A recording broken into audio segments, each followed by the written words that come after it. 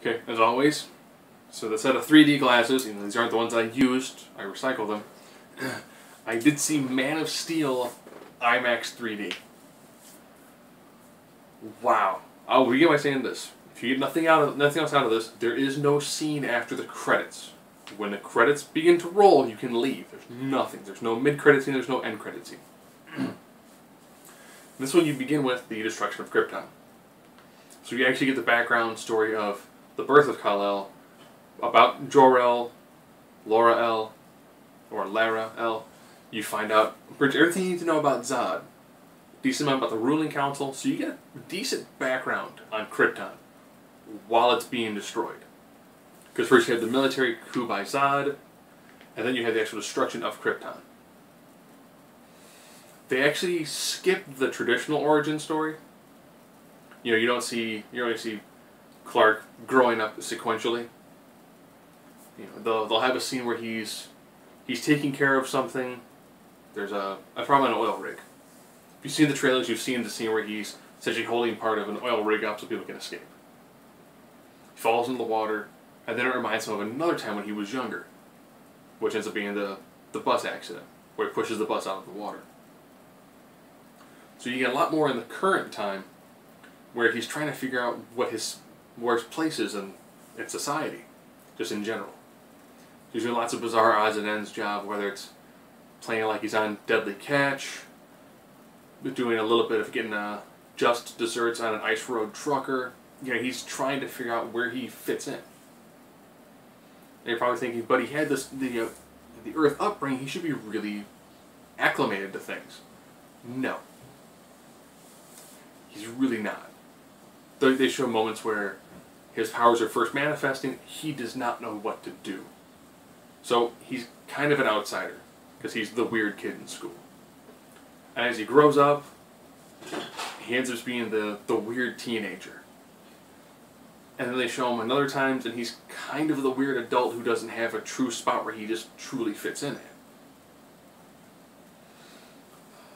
Until he ends up finding an old Kryptonian ship. Takes a little key that he's been carrying around with him, and gets to actually talk to his father, who gives him the background story on him, what he's about, tries to fill in some of the gaps. This is the time when Zod shows up. and now you have, okay, well, what am I supposed to do? Zod wants Kal-El returned to him. Does he turn himself over? You know, and thinking that, you know, if Zod is if Zod is correct, he'll surrender and Zod will leave. Or he has a cri- the crisis where it's do I trust Zod? Do I trust the humans? Since he's trying to be the person of both worlds, but he can only really belong to one. You're probably thinking, there really isn't a lot of lightheartedness. This movie isn't just almost non-stop epic. Some of the complaints this movie is just too big. Yes, it is destruction of one world, the potential destruction of another world.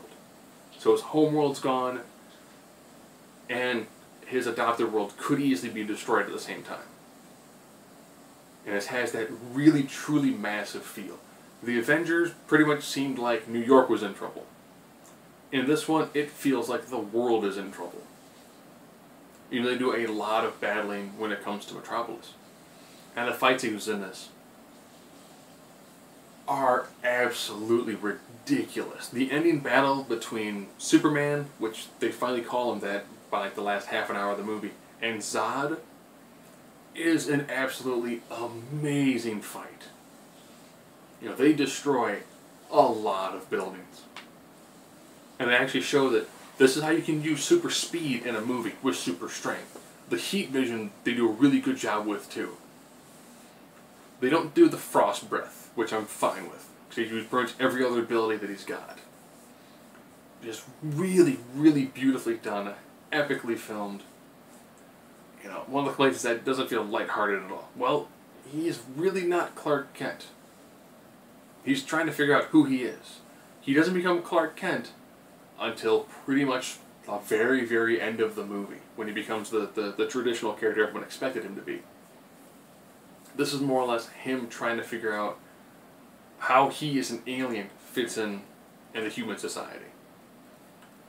I can safely say this was probably one of the best superhero movies, period. It's actually a really solid movie. It is it is grand in scope. Tremendously grand. It is epic when it comes to fight sequences, when it comes to story, when it comes to the score. People have actual character development. You know why the enemy is doing what he's doing. You know why Jor-El did what he did. You know what Zod's doing. You know why Kal-El feels the way that he feels.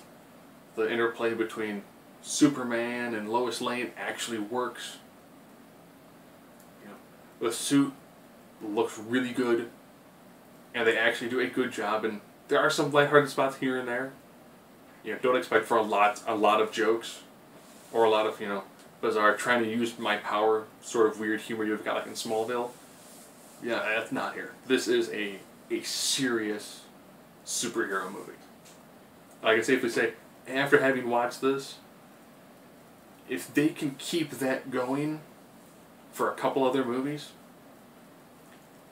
the amount of action they had in this one will be really, really tough to top in a Justice League movie.